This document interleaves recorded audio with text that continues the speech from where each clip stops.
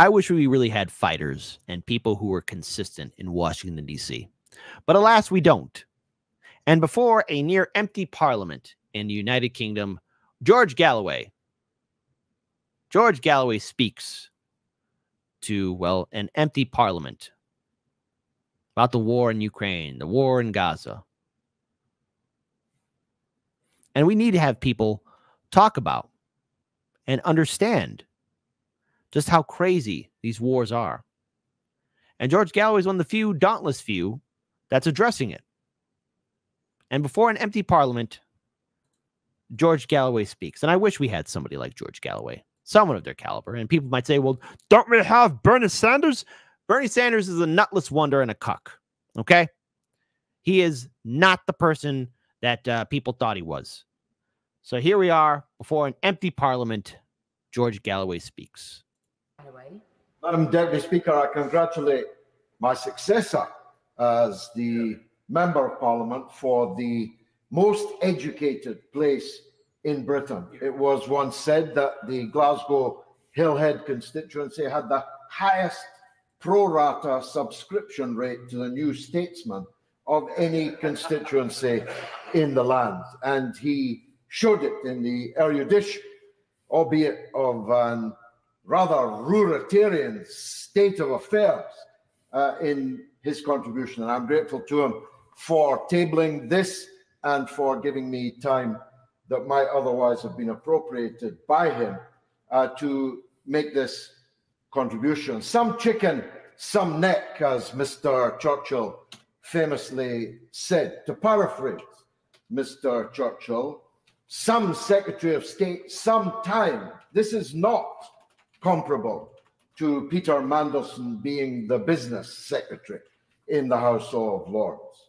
This is a time of great international peril, where foreign affairs is undoubtedly the biggest single item in our inboxes. Must be true. There are millions on the streets. Well, it's certainly true of my inbox. There are millions on the streets about Britain's foreign policy. There are demonstrations daily, weekly, all over the country. People are seized of our role in international affairs in a way that, for someone like me, there can't be many members in the House who have participated in more foreign policy issues from the 1980s until now. I have never known a time like it when our people were so occupied, indeed, many preoccupied by our role in the world. And what I'm about to say is in no sense disrespect for the current occupant of the foreign secretaryship. Quite the contrary. He's a big improvement on his predecessor. He's a cut above his likely successor. I don't demur at all from the idea that Lord Cameron is a skilled international diplomat. Our problem is, as a country, who are forever lecturing other people on the quality of their democracy, now have an unelected head of state. And he's talking about that prime minister, the same prime minister that was so triggered and so upset that George Galloway won his election, that he systematically went after him, took did a press conference and drop his name and say this man is a threat, even though the difference between the Prime Minister of Great Britain and George Galloway is George Galloway got elected to his office. That Prime Minister, so sinister, was selected. Like what I did there? An unelected Prime Minister and an unelected foreign secretary, the second most important piece on the Treasury bench. And that's Ruritanian. It's actually rather absurd if you start to consider it. As the Honourable Gentleman for Glasgow North was adumbrating the possible outcomes of a lectern being erected just at that white line there so that we could all, and the microphones would need to be adjusted, face that way instead of, Madam Deputy Speaker, facing towards you. That's ridiculous. If there was a will, there would be a way. The silence from the government in response to the procedure committees beseeching of them to find a solution to this is eloquent, as such lengthy silences always are. We have a situation where daily, if not hourly, new and dramatic foreign policy developments are occurring. Just this day, for example, Prime Minister Netanyahu announced that this port that's being built in Gaza. Now, let's talk about this port. Remember, we have a lot of people, a lot of people saying that this port is there to deliver aid and food. Well, folks, the the only way that's ever going to be constructed is if Israel gives a thumbs up. But also, that port is shockingly and surprisingly close to a area which my God, no coincidence whatsoever. Out of the blue, hey, there's oil there. Well, we better build this pier there, N- not not for the oil, but for food. I mean, it's not suspicious at all. Let's let's have democracy in the chat. Type one for Kit. Gosh darn it, you awful man! I can't believe I'm subscribed to this channel. They're trying to give, give food, food, medicine, aid just because that pier is close to where that oil's at or in the proximity of it doesn't mean they're going to build like an oil rig there or, you know, start occupying it. Shame on you. Shame on you, you awful man. I type two now, man. They're there for the oil. Okay? They're there for the oil, dude. They're there for the oil. I wonder how many twos we'll get in the chat. I wonder, I wonder, I wonder. With the rubble of the homes destroyed in the bombing, including the skulls and the bones of the people destroyed with the houses and lying. Oh yeah, that, that's that's something that's new too. Um, I won't be able to play the video, but I'll show uh, the tweet of Max Blumenthal, uh, where like they're they're actually using the rubble from the homes to actually start building a a port over there. So that means if there's human remains there, that port is literally being built with the bodies and the remains of the Palestinian people who could not escape. That's a bloody port right there a bloody pier. I thought we were a civilized nation. I thought I thought we got the point of civilization, but nope. Nope. Man's inhumanity to man still continues on. And just in case you missed it, let's do a little YouTube rewind and hit that rewind button just so you, all of you can hear it again. Where daily, if not hourly, new and dramatic foreign policy developments are occurring. Just this day, for example, Prime Minister Netanyahu announced that this port that's being built in Gaza, with the rubble of the homes destroyed in the bombing, including the skulls and the bones of the people destroyed with the houses and lying unburied under the rubble. That, according to Netanyahu, this port is being built for the deportation of millions of Palestinians from the territory, an act of ethnic cleansing of the foulest kind.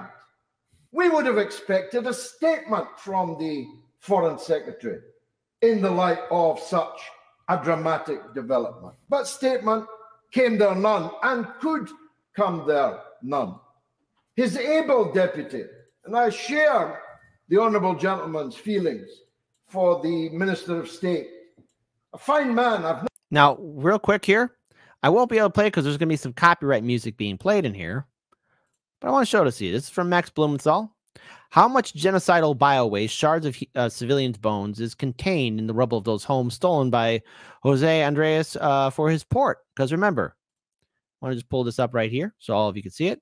U.S. State Department asset Jose Andres and his, and his World Central Kitchen are building a makeshift aid dock in northern Gaza from the rubble of destroyed Palestinian homes, all in coordination with the Israeli military. So, you know, they're delivering food and aid, which on paper looks great. Looks great. It does. It truly does. And and, and, and you're and you're seeing and seeing people, you know, work hard, you know, they're they're they're they're trying to really do everything they can I, I can't play it because well I'll be able to play like a little bit of it just just was muted but you know, because because music will be, be being playing, and then you know the video gets struck down. But here, uh, I think eventually we could fast forward right here, where we talk about. Let's go ahead and pull that up here. Let me just go and see if we could fast forward to the point to where they're talking about the aid that's being delivered. All that, all that food. Okay, so they're going to unload the cargo, right? See now, hold on. All of you might be able to see it. So they're building. They're working through the night. Working through the night. Right? Many boats are going to Gaza. We're going to work all day today through the night. See that they don't know if they get the boat in properly on time. Where where are they getting that material? Where are they getting that material from? Where do you think they're getting material from? Hmm? To do so out of rubble. Out of rubble from the homes. Yeah. From both homes. So you could see this. So I hope all of you could see it there. Yep. There you go. So let's go back to George Galloway. Let's rewind that right here. New and dramatic foreign policy developments are occurring. Just this day, for example, Prime Minister Netanyahu announced that this port that's being built in Gaza, with the rubble of the homes destroyed in the bombing, including the skulls and the bones of the people destroyed with the houses and lying unburied under the rubble. That, according to Netanyahu, this port is being built for the deportation of millions of Palestinians from the territory, an act of ethnic cleansing of the foulest kind. We would have expected a statement from the Foreign Secretary in the light of such a dramatic development. But statement came there none and could come there none. His able deputy, and I share the honourable gentleman's feelings for the Minister of State, a fine man, I've known him a very long time. He cannot possibly cope with all of this workload as.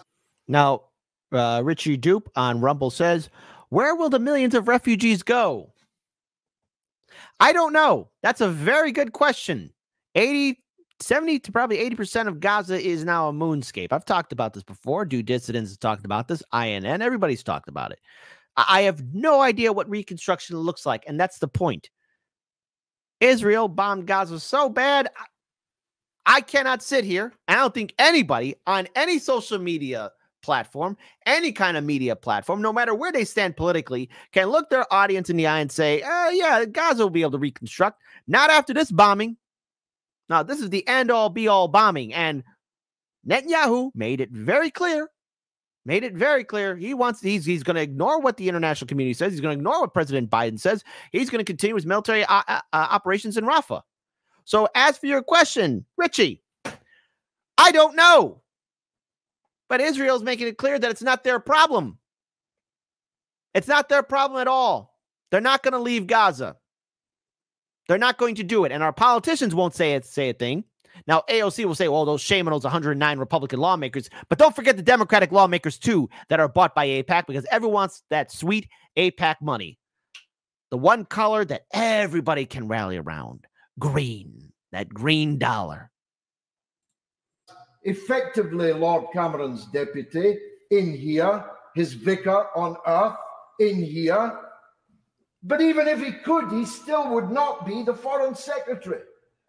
We cannot continue to be a democratic country. We cannot continue. Uh, of course. Yeah, I, the, uh, uh, sorry, of course. Will be brief because it is very unusual to come in after an adjournment debate has started and then. In- okay, well, hey, it's democracy. Hey, how dare you speak in an empty parliamentary building? Obviously, there's rules and procedures, but I mean, come on, it's empty. It's empty. You, you you could bend and twisty twist the rules just a tiny sort of little bit. intervene. Um, and it is important that everybody who does intervene stays to the end as well. Chris Stephens. Deputy Speaker, and thank you for that uh, strict reminder.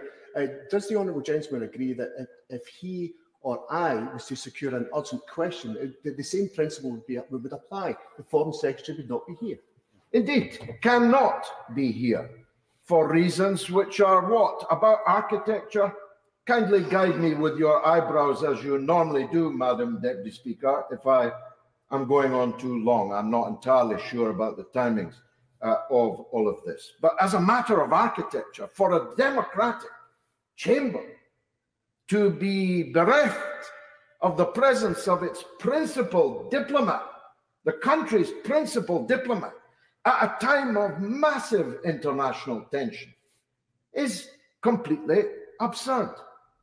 Madam Deputy Speaker, for those of us on this day, on this day in 2003, our country went off to the most disastrous war that we fought for well over a hundred years. Hmm. Now, what war was that? Something happened in 2003. Obviously, in 2001, there was the conflict in Afghanistan. 2003, heaven forbid that the whole world would just allow an invasion to happen in a country where supposedly there were WMDs. And I hope we found them. Did we ever find those weapons of mass destruction? Because, look, maybe I'm overstepping my boundaries. Maybe, maybe I might trigger some of you. Maybe this might cause a lot of you to unsubscribe from my channel, but I'm just going to speak for myself and my opinion. All right. And all of you across the political spectrum, my wonderful, beautiful audience, you know, maybe this is just me. But isn't it kind of important that, you know, when you say there's weapons of mass destruction, shouldn't we find those? They shouldn't be just lying around and we're like, you know, out there in the blue, or, or or maybe I'm wrong. Just be like, ah, kid, just relax. Don't think about it. Weapons of mass destruction. Shush. Come on. You're overthinking it, buddy. You you worry too much. You do too much. You're not Batman after all. You're not Spider-Man. Come on, take it easy, buddy. Relax. Relax. It was a disastrous decision. But at least it was a decision that the Prime Minister and Foreign Secretary of the day were ready to and had to defend each and every single day. The debates, not many of us here now were involved in them, except thee and me. These debates were of the fiercest and most urgent kind. But we may be on the brink of World War III, Madam Deputy Speaker. Little The sequel that we've all been waiting for. Macron may be about to march his legionnaires into Odessa, creating the gravest international crisis since the Second World War. And we will not be able to question our Foreign Secretary about it. We'll have to wait for the morning editions uh, to learn what the government intends to do about it. War in Ukraine, war in Gaza, maybe war against Iran, war in the Red Sea, war everywhere. Foreign Secretary, nowhere. Nowhere, at least, that he can be questioned by the people in this country who are elected to question him. That's the point, Madam Deputy Speaker. It is our duty to hold ministers to account. But by definition, in this situation, we cannot hold this, the occupant. We talk about great officers of state. At such a period of high tension, there can be no doubt that the second most important office of state in Britain today is the Foreign Secretary, but he is out with our reach. We, we can't even, as we once did, rub shoulders with them in the division lobby. Can't do that. Can't do that now because now there's a whole new system. So while we're on the brink of World War III, war in Ukraine, war, uh, uh, the, the genocide is taking place in Gaza, potential war with Taiwan. He forgot to mention that, but hey, you know what? No one's perfect. There you go. Hey, there's there's that sable rattling in Taiwan, war in the Red Sea, war with Iran, war everywhere. How to get to this? Worst timeline ever. War everywhere. And by the way, you know, all these nukes, they're pointing at major metropolitan cities. And if someone is dumb enough to push that shiny red button, that's it. Like most of us are probably going to be vaporized. The survivors will envy the dead. And if there's any human beings left, we will be a shell of what we once were. No way will we ever get to this point of technology ever again because the planet will be damaged. All the resources dug up to get us where we need to do will be gone already. We will be a pathetic species. All because we have a bunch of sociopaths that want to earn that shiny red penny, that extra green dollar for forever future wars. We can't even see him in the members' tea room. We can't bump into him in the corridor here. We cannot in any way impress upon him that millions upon millions of our fellow citizens and our constituents have this or that concern, point of view on the great issues uh, of the day. This is untenable, Madam Deputy Speaker. I am seeking to inject some note of urgency and passion into this because it is an untenable situation. I wish that from amongst the members opposite, it had been possible to find one capable of being the foreign secretary. Would have been much easier and this debate would not be happening. That was not so. None of them were up to the job.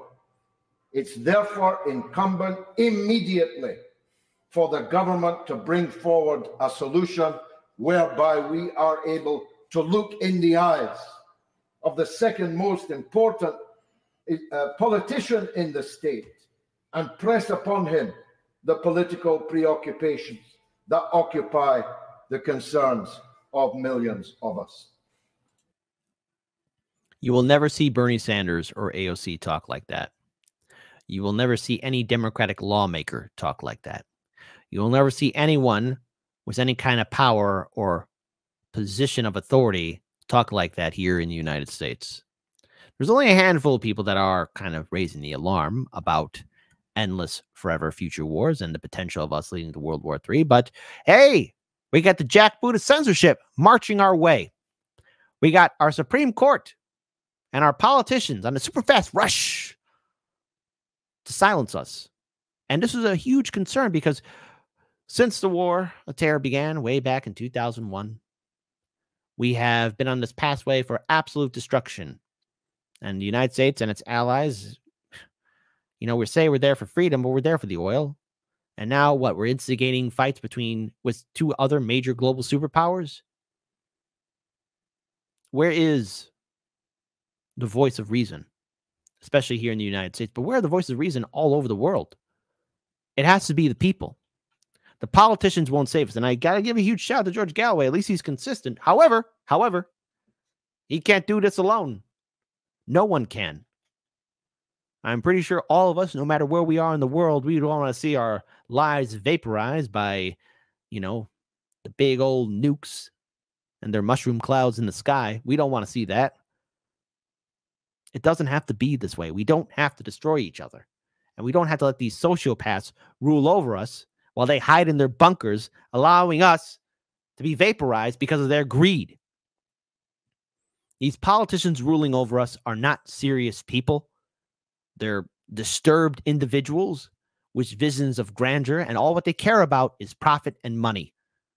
Profits, money, ambition, and power. That's all what they care about. You and everyone in the world needs to realize that our politicians aren't lifting a finger to stop these forever wars. It's up to us.